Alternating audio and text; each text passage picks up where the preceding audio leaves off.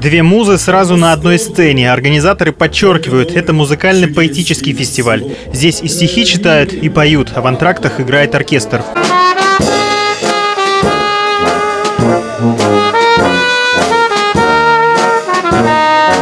Вечера в Успенском для местных жителей уже стали чем-то вроде вечеров на хуторе близ Диканьки для любителей прозы.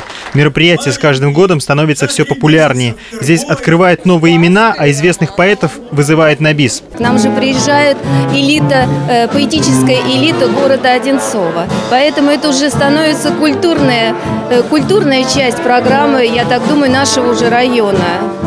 И мы стараемся сделать этот праздник более красочным, теплым. Вы как видите, что у нас и чаепитие присутствует, духовой оркестр играет.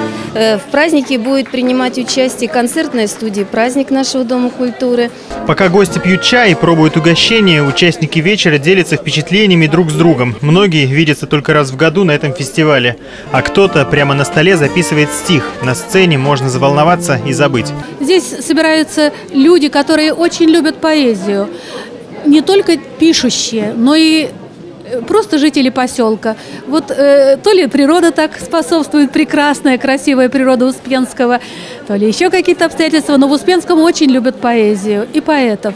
И вот всегда нас здесь встречают очень радушно, приветливо, и мы любим сюда приезжать. Успенские встречи проводят уже в четвертый раз. Лучшим чтецам и вокалистам вручили памятные призы. Никита Филатов, Евгений Муравлев, телекомпания «Одинцова».